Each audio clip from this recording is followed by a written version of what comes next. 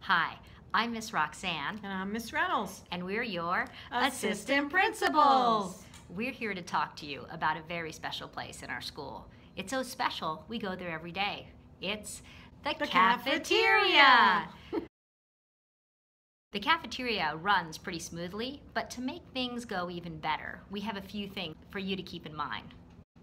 One, bring your ID card. The cafeteria counts on you to be responsible and bring your ID card every day. Did you know that when people don't bring their ID card, they lose up to half their lunchtime standing in line waiting for a paper pass? We don't want this to happen to you.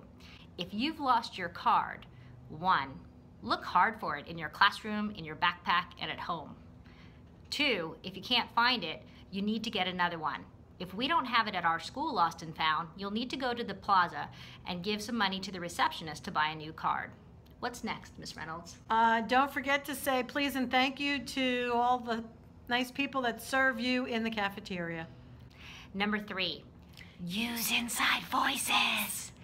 The cafeteria has a high ceiling and flat walls and a flat floor, and the sound just bounces everywhere. So when we speak to people, our voices sound louder than usual. So it's real important that we speak with a inside voice, inside voice, inside voice.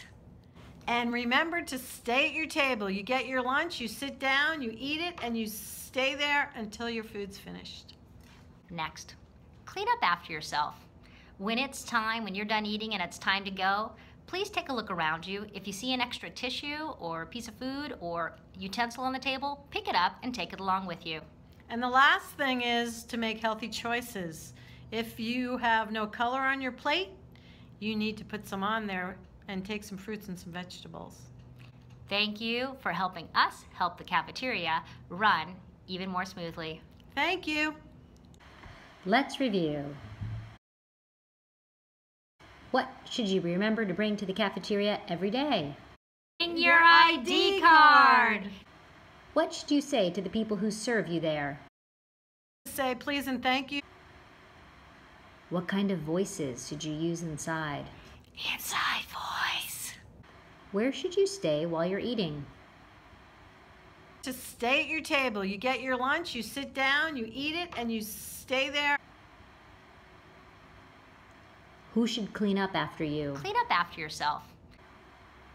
What kind of choices should you make about the food you eat? Make healthy choices. If you have no color on your plate, you need to put some on there.